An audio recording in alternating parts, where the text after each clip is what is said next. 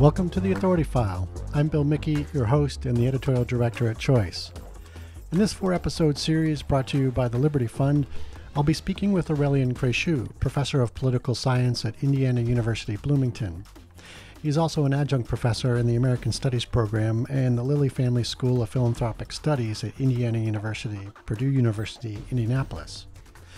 We're here to talk about his latest book, which he edited and published with the Liberty Fund, a modern interpretation of Jacques Necker's 1792 work on executive power in great states.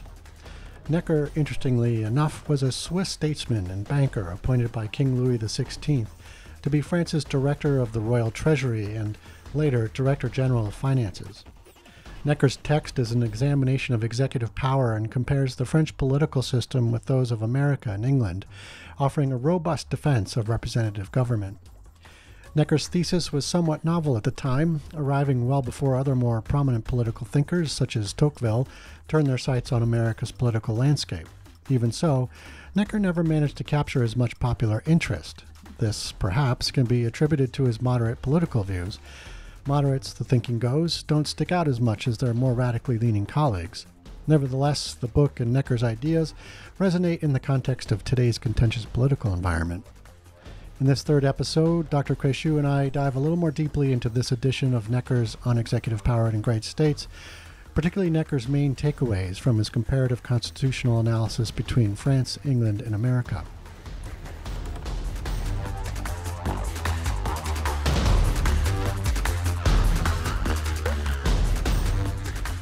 So, of course, the, the reason we're talking about uh, Necker is the new edition of On Executive Power in Great States that Liberty Fund just brought out. So, um, how does how does the book fit into Necker's overall oeuvre?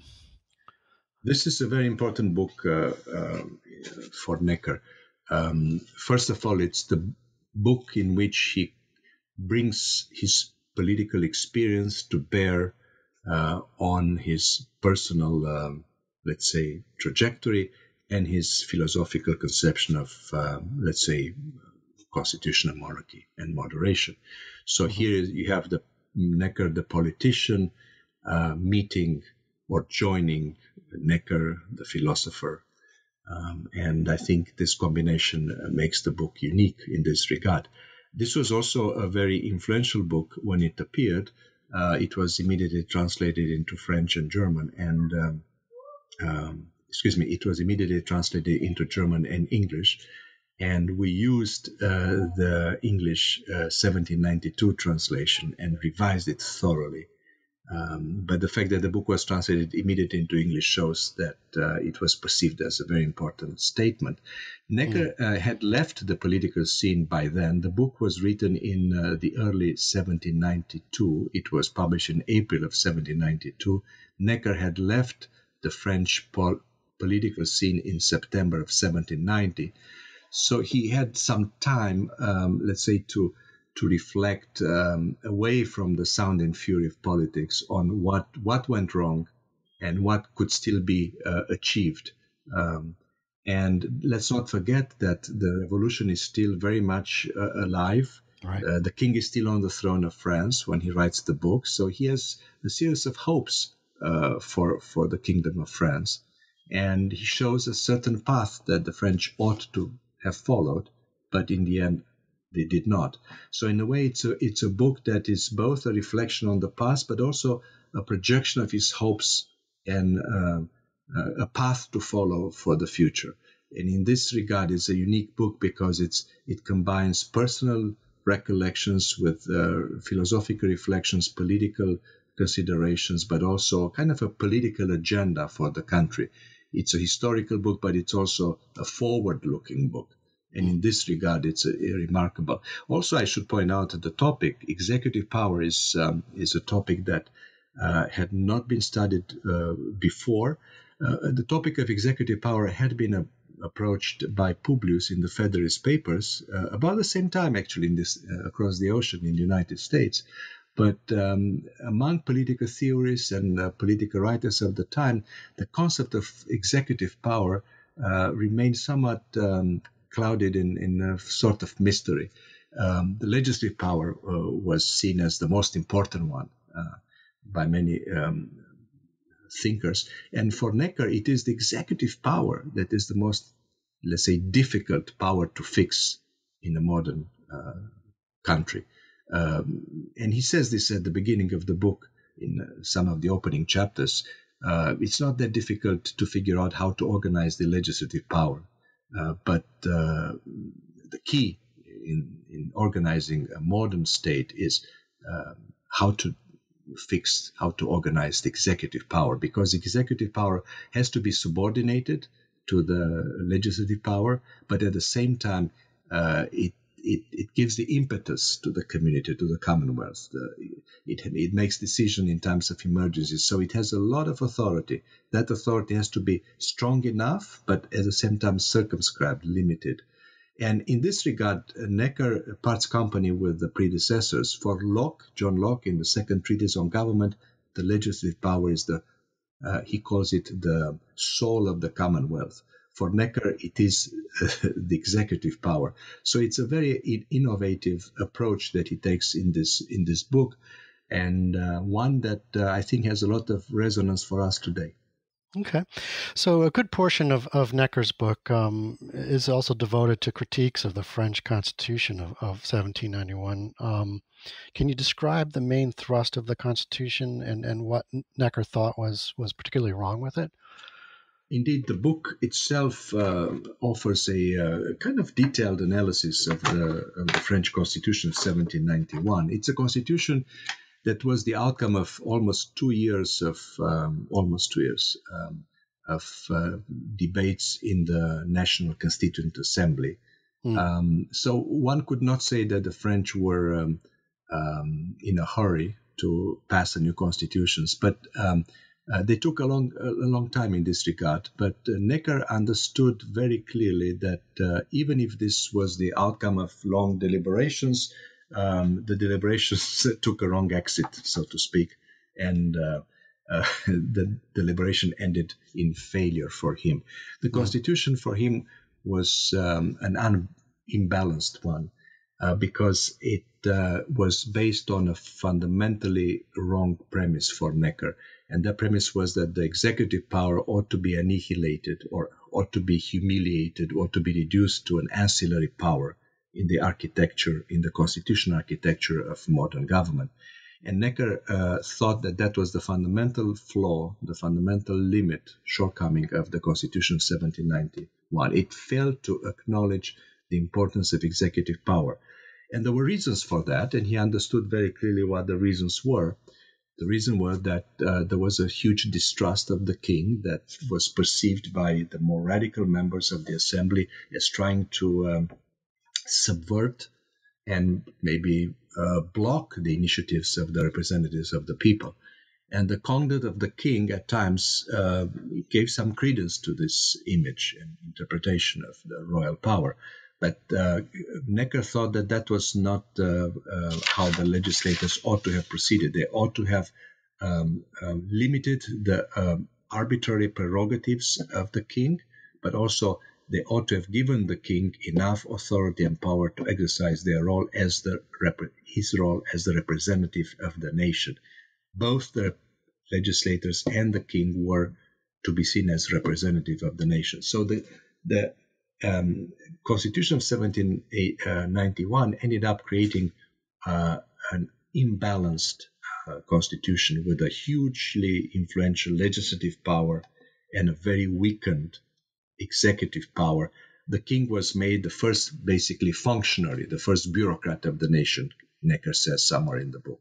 Wow. And the royal authority would have demanded something else from that. So it's this uh, um, strong separation of powers and the diminishing uh, of the executive power uh, that um, uh, was the main problem with the with the constitution. There were other limits of the constitution that he analyzes um, but this is at the heart of his critique. Okay, excellent. So he uses some interesting terms to to describe all of this, and and uh, an intertwining of powers or an interlacing. Um, I'm wondering if you could talk about what he actually means by that, and and, um, and and sort of how those terms reflect his views on executive power. traditionally, um, the doctrine of the separation of power meant um, that uh, those who exercise the executive power um, ought to be different from those who exercise the legislative power and the judiciary power. Mm-hmm. The um, classical formulation of the separation of powers um, can be found in uh, Montesquieu's The Spirit of the Laws. There are roots of it in uh, Locke's uh, second treatise. But even in uh, Montesquieu's uh, uh, text, it's pretty clear that the separation cannot be very um, absolute. Um, Montesquieu wrote about the blending of distributions of the powers in a constitutional monarchy, and he was also an admirer of the English constitutional monarchy. So Necker follows in the footsteps of um, Montesquieu in this regard, and he understood that the strict separation of powers is um, is not um, um the solution to the problems uh, of France. The power uh, ought to be uh, both separated and blended. The three powers ought to be both separated and blended, which means that, uh, for example, um, the king should also exercise some legislative functions. I distinguish here between the legislative power and the legislative functions. And in turn, the legislators, uh, the representatives of, uh, of, of, the people, ought to be uh, exercising some uh, executive functions. And it is this mixing of the functions of the three powers, in this case, two powers, uh, to be precise, executive and uh, legislative, that Necker um, illustrates with his terms uh, intertwining, interlacing of powers. I preferred uh, the translation as intertwining of powers. It can be used also as interlacing of powers. The French original term is entrelacement de pouvoir. So Necker thought that this is the key term, and he um, um, writes in the first chapter of the book, and I quote, It is therefore by the efficacy of this power, of the executive power, and its prudent adjustment that the primitive intention of political society is accomplished. It derives its perfection from its the most exact combination, while all is proportion and everything in equipoise. And I think the term is um, is fundamental here. He's talking about equipoise, equilibrium, balance. He's talking about uh, proportions. And he writes in chapter 4 of the book the following These, They are ties, then not counterpoises, proportions, not distances, fitnesses, not vigilance, which most contribute to the harmony of government. I think this is um, the fundamental insight uh, of Necker the idea that uh, you uh, need to have uh, a combination, a, judicious, prudent, harmonious combination and cooperation between these powers if you want to have free and e- efficient government. Otherwise, the powers will fight against each other, and this is actually, in his view, what had happened in the French case. The representatives of the people, the third estate, jealous of the rights of the other uh, orders, the clergy and the nobles, fought against them and then fought against um, the king. And uh, um, in reality, for Necker, uh, the three orders ought to have cooperated, uh, ought to have uh, made compromises, concessions in order to create this um, mixed form of government, as, as, it were. So Necker writes about the in, intertwining of powers, interlacing of powers. He he never uses the term separation of powers. Okay. Excellent. Um, so, in, in, the introduction, um, you write, uh, "quote On executive power in great states offers an innovative comparative analysis of three political and constitutional traditions: French, American, and English." Um, so, what were Necker's main takeaways from those, those comparisons? Um, this comparative constitutional analysis was also kind of ahead of its time, right? Very much so. And it, it is in this regard that I think Necker was a precursor, and if you wish, a precursor of uh, Tocqueville. Uh, Tocqueville mm visited America in 1831, 1832, and published his famous Democracy in America in 1835, the first volume, the second appeared in 1840, Necker writes about the American constitutional tradition and American constitutional system in 1792, so 40 years before Tocqueville. And mm-hmm. this is remarkable. Now, um, Necker doesn't write only about America in this book. In the second part of the book, in the first part, he is uh, very much an admirer of the English constitutional monarchy and the English right. constitutional system, as I said. So he compares the three constitutional traditions the French, the English, and the American. Now, Necker is not the first one to have admired England and have written about England in France. In this regard, he follows also in the footsteps of um, uh, two major representatives in this tradition, but there were many others Montesquieu in The Spirit of the Law and uh, Jean Louis de Lolme in the Constitution of England, published in 1771. Another Swiss thinker, by the way, interestingly, Switzerland and England seem to have liked each other's political constitutions. Um, the English constitution was unwritten, of course, and uh, this is uh, um, an interesting detail. Uh, Necker thinks that the tradition of constitution is, is, strong in England, in spite of the fact that there's no written constitution. But with regard to the American constitution, um, I think uh, and uh, the, the, most innovative aspect of Necker's appreciation, I would say, is his emphasis on federalism. Necker understood uh, very much, um, I think he was right in this regard, that uh, the American experiment was something totally new and it was poised to succeed because it was a federal republic. Um, uh, the question was at the time whether a republican form of government can exist on a large territory? The traditional answer had been no. Uh, Montesquieu himself said in order to self govern themselves, the people need a small territory. Necker understood, and probably he had read uh, the Federalist Papers by then, but I cannot guarantee that. Necker understood that uh, you can extend the size of the republic, you can create a federal system of government, and then you can have a republican form of government combined with federalism. And he devotes a, a, a chapter in this book uh, analyzing the importance of federalism, and he, um, I think, makes some very interesting um, uh, observations. He also appreciates in America bicameralism, which was also a characteristic of the English system. He thought that the French ought to have adopted bicameralism, not monocameralism, the uh, Constitution of 1791 created a uni, uh, a monocameral assembly, one chamber rather than two, and that was another problem with the Constitution that ought to be added to the shortcomings. And uh, Necker um, uh, liked the the system of um, uh, um, executive veto and the way in which it was practiced in America. It was a suspensive type of veto, and and he uh, argued for uh, a suspensive executive veto to be given to the King of France as well, which the French uh, constitution did have uh, up to a point.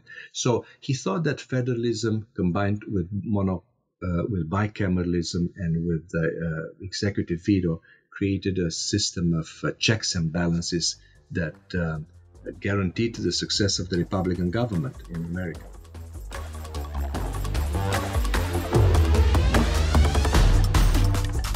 You just heard from Aurelian Craiutu, professor of political science at Indiana University Bloomington and editor of On Executive Power in Great States by Jacques Necker.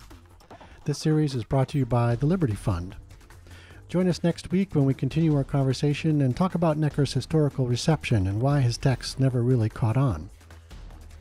Necker suffers from the fatal handicap of moderation. Moderates never uh, occupied the forefront of the political stage. The headlines uh, are never uh, favorable to the moderates. Uh, you have the radicals, the extremists, the most vocal, you know, voices, but um, moderates um, suffer from the fatal handicap of self-restraint, of prudence, and uh, Necker was uh, seen as a, as a vanquished uh, political actor because he withdrew in 1790.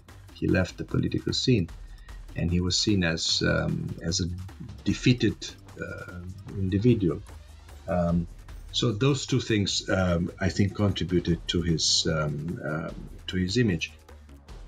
If you like what you hear, rate us or give us a review on your podcast platform of choice. And if there's a topic you'd like us to cover, drop me a line. I'm at bmickey at ala-choice.org. As always, sponsorship and advertising for the Authority File podcast are handled by Choice's advertising manager, Pam Marino, and all of our episodes are produced by Choice's senior digital media producer, Mark Dirks, and digital media assistant, Sabrina Kofer. That's all for this week. Thanks for joining us.